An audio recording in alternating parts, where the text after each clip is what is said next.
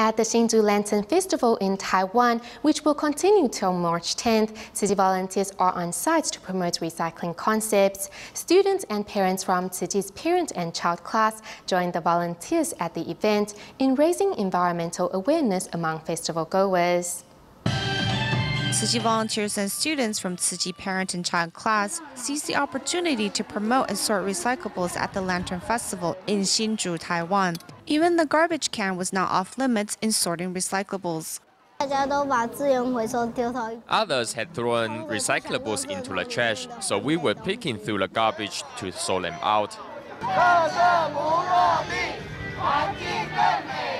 Walking along the street with signboards in hand, everyone leaned on the strength in numbers to loudly promote the recycling slogan, bringing environmental awareness to passersby.